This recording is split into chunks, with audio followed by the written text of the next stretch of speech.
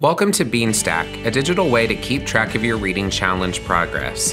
This informational video will show you how to create an account, register for a reading challenge, and monitor your progress. Let's begin. You can download the app from the Google Play or Apple Store, or you can go to your web browser and visit wichitalibrary.beanstack.org. This is the home page. It shows you the current reading challenges the library is offering. Scroll down and select Register an individual or family. Next, decide who you'd like to register.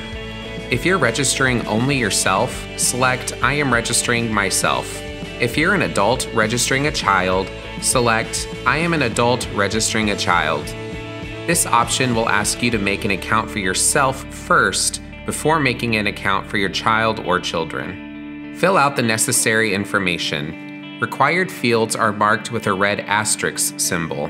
Once you've registered, you'll be given the reading programs you're eligible to register for.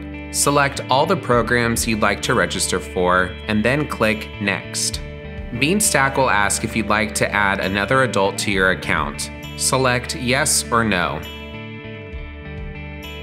Beanstack will ask if you'd like to add a child to your account. Select Yes or No. The landing page for the program will give you all the information you need to learn about the program and earn badges. Click on Activity Badges at the top. This tab will show you all the activity badges you can complete in the challenge.